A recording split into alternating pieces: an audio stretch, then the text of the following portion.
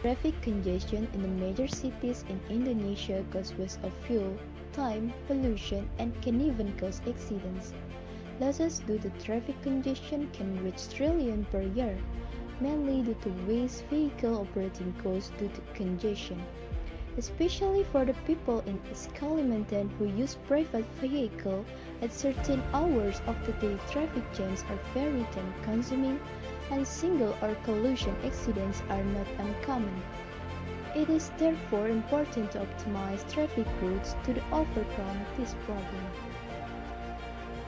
RoadSense is a traffic management system that uses information and communication technology to optimize traffic control and distribution efficiency in East Kalimantan. With advanced technology such as road sensors and monitoring cameras, RoadSense collect real-time information on traffic condition to organize traffic light information, specialize damage road condition, and efficient distribution schedule.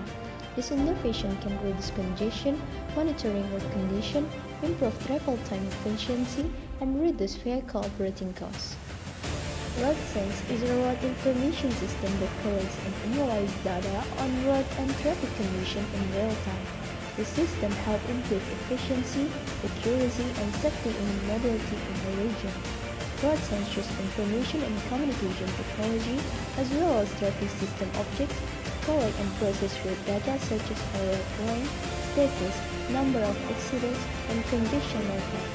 RoadSense helps user avoid optimize travel time, and reduce negative impacts such as fuel wastage and air pollution.